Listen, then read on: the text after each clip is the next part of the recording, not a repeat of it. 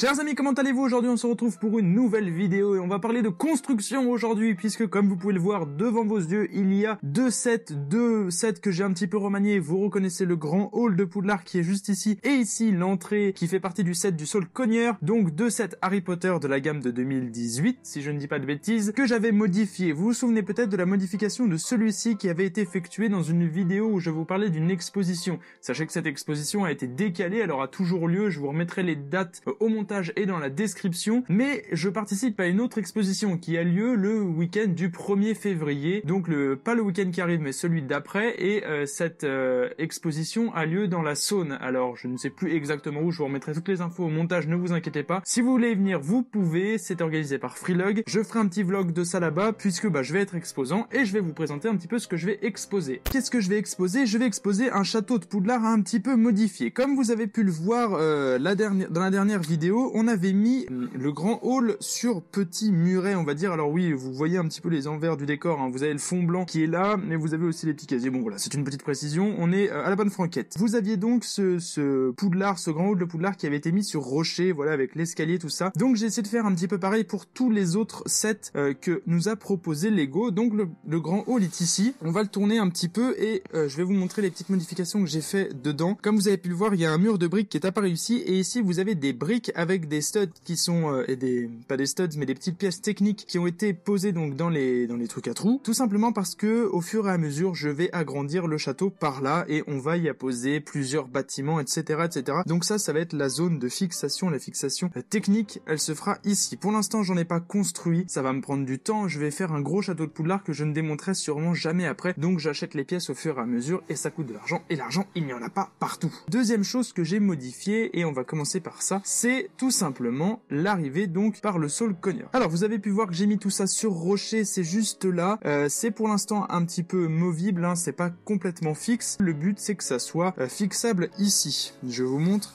c'est que ça puisse venir s'enclencher comme ceci. Ici, il y a une petite modification que j'ai effectuée, voilà. Hop, il suffit juste de tirer un petit peu le mur et normalement les deux s'emboîtent. Alors je vais pas vous le faire parce que c'est un peu la galère. Je vous montrerai le résultat en exposition, mais voilà, ce qui va me permettre d'avoir une continuité donc dans mon espèce de mur en rocher. Donc voilà, pas grand chose à dire sur ce mur là. Il est un petit peu moins détaillé que l'autre tout simplement parce que je mettrai des choses devant, notamment ici, ça, tout ça ici, ce sera caché. C'est pour ça que c'est moins, moins décoré. Toutefois, on va le tourner puisqu'il y a eu des petites améliorations derrière. Je vais vous montrer ça de suite. Alors comme vous pouvez le voir, on est de l'autre côté de la muraille et quelques petites améliorations et ajouts ont été effectués par rapport à la muraille donc du grand hall. Tout simplement puisque ce côté-là sera rendu un petit peu plus visible lors de l'exposition. Et qu'est-ce qu'on retrouve? On retrouve tout d'abord un bureau, un bureau pour Rusar. Rusar qui est le concierge de Poudlard. Et il a un petit bureau tout simple avec ici, il y aura un petit tableau que je vais rajouter au fur et à mesure. Hein, tout n'est pas complètement terminé. On reconnaît sa petite lanterne qui est cachée là-bas. Il y a une petite bougie et il y a euh, un petit journal qui est le journal qui est fourni la plupart du temps dans les sets Harry Potter. On a à côté un autre lieu qui est un lieu un peu plus potion. On retrouve le professeur Quirrell qui, je vous le rappelle, cache Voldemort derrière son turban. Et ici, on a une sorte de petit bureau. Est-ce que c'est son bureau? Est-ce que c'est une salle de cours? On ne sait pas. Toutefois, voilà, on reconnaît quelques petites choses. On a un chaudron en terre cuite, on a une grenouille, une bougie. Donc ici, ici, on a un livre et voilà. Et là, plusieurs, plusieurs matériels de potions avec des flacons en tout genre. Ici, un autre chaudron. Bref, vous avez compris que le professeur Quirrell faisait de petites expérimentations dans cette partie-là de l'école. Et enfin, complètement sur la droite, ici vous avez un réservoir à balai qui est juste là, on ne le voit pas très bien encore à la vidéo, voilà, ça sera mieux ici. Euh, vous avez donc un réservoir à balai, alors est-ce que c'est pour les matchs de Quidditch? Je n'ai pas encore décidé, peut-être que dans la continuité qui est là, je ferai un petit truc réservé Quidditch, ça pourrait être assez intéressant. Alors on se retrouve sur la deuxième partie de l'école et c'est la tour de l'horloge comme vous l'aurez reconnu au bas du bâtiment, qui là encore a été mise sur rocher, une partie un peu plus travaillée ici, une partie un peu moins. Et vous reconnaîtrez aussi des, des tenons, des fixations, tout simplement parce qu'ici être posés quelques reliefs que je vais ajouter derrière, mais je veux qu'ils soient détachables pour des raisons de transport et de sécurité bien évidemment, et c'est surtout pour des raisons de modularité. J'aimerais peut-être faire des choses qui soient un petit peu plus agençables derrière. Donc pour l'instant je ne peux pas vous le présenter parce que c'est en cours de construction et c'est surtout extrêmement compliqué à concevoir, mais dès qu'il y a des infos, je vous balance tout ça sur Instagram, je ferai des stories de construction, ça va arriver entre cette semaine et la semaine prochaine pour que ça soit présentable à l'exposition. Donc je vous conseille d'aller suivre mon Instagram qui s'affiche actuellement dans la vidéo. Voilà, vous pouvez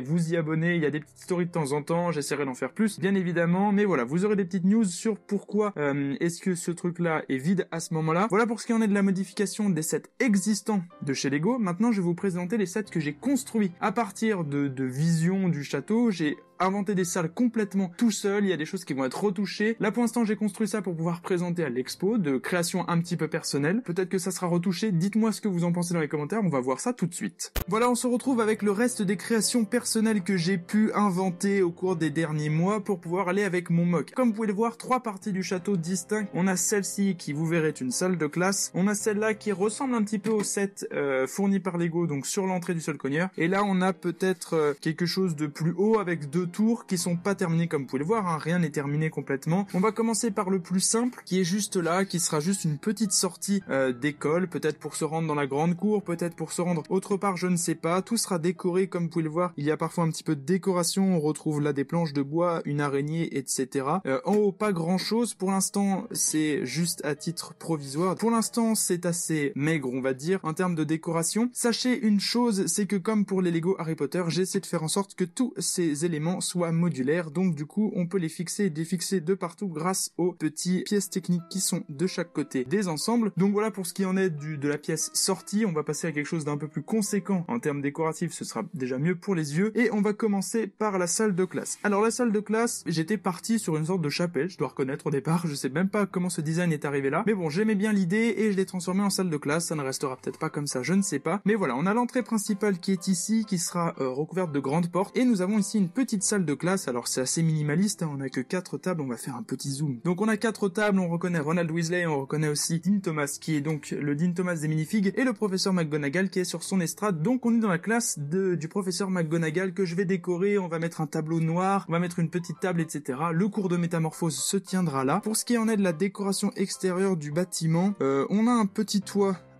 donc qui peut se soulever ce qui me permet d'avoir un toit incliné. On a des fenêtres, on a une petite décoration en briques ici pour faire un peu de relief sur le bâtiment. Derrière, pareil, on a un petit peu de relief, c'est un petit peu ouvert, etc. Donc tout ça sera légèrement modifié au fur et à mesure. Mais voilà pour ce qui est de la petite salle de classe. N'hésitez pas à me dire tout ce que vous en pensez dans les commentaires, des améliorations que vous voudriez voir, euh, des petits tips, etc. Je prends tout dans les commentaires, lâchez-vous. Et enfin, dernière pièce donc, c'est cette double tour, triple tour même un petit peu. Je vous montre, euh, voilà, on a deux grandes tours jumelles, on va dire, et une petite ici. Donc là c'est pareil, on retrouve des fenêtres. Alors tous ces endroits-là sont réservés à des fenêtres. C'est juste que j'ai pas encore les pièces pour pouvoir le faire. Ça va pas rester gris éternellement. Voilà, vous en aurez un petit peu de partout. Euh, je sais pas s'il y en a de ce côté. Si non, il y en a. C'est bon. Celles-là, elles ont été mises. On va tourner au dos et on va voir un petit peu ce qu'on va trouver. Et je pense que cet endroit-là sera plutôt un dortoir. Alors est-ce qu'un dortoir pour pouf souffle ou serre d'aigle? Je ne sais pas encore. Mais comme vous pouvez le voir, on a de l'espace. Ça a été commencé à être décoré. On a un tableau ici. On en a un de l'autre côté là. On a une petite cheminée ici qui sort du calendrier euh, Lego Harry Potter et Lego City. J'ai modifié un petit peu la cheminée pour la rendre un petit peu plus jolie. Donc voilà, on aura de l'espace. Je sais pas trop ce que je vais faire dedans. J'aime pas mal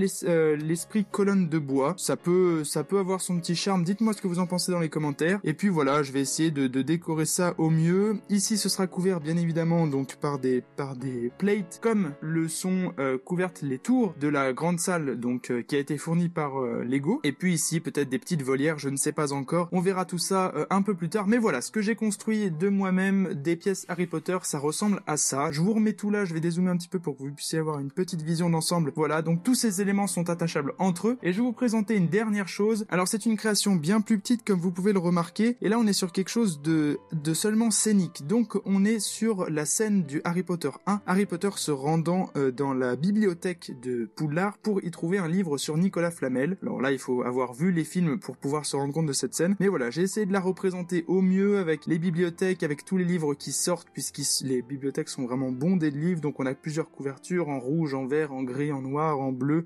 en beige, etc. Je vais vous virer Harry pour que vous puissiez mieux voir. On retrouve sa lanterne et on retrouve donc le livre sur Nicolas Flamel qui est ici. Euh, voilà, une petite scène rigolote, un petit clin d'œil. Je vais essayer d'en faire plusieurs comme ça pour chaque film pour pouvoir les mettre à côté et faire une sorte de petite reminder de, de chaque film avec les scènes entre guillemets les plus marquantes ou des scènes qu'on oublie parfois un petit peu. Donc voilà, peut-être que je vais pas présenter ça à l'expo, j'en sais rien puisque j'ai que cette scène là pour l'instant donc ça fait un petit peu petit, il hein, n'y a pas il a pas grand chose. Mais voilà, dites-moi ce que vous en pensez de tout ça dans les commentaires. Petite vidéo update des projets sur lesquels je travaille actuellement. J'espère que cette vidéo vous a plu, si c'est le cas n'hésitez pas à me le dire dans les commentaires et avec le petit pouce bleu à vous abonner à la chaîne, vous connaissez la chanson. Je vous souhaite une très bonne matinée, journée, soirée, amusez-vous bien et puis on se retrouve soit en expo, soit dans l'espace commentaire, soit dans une prochaine vidéo. Gros bisous à tous et à la prochaine, ciao les gars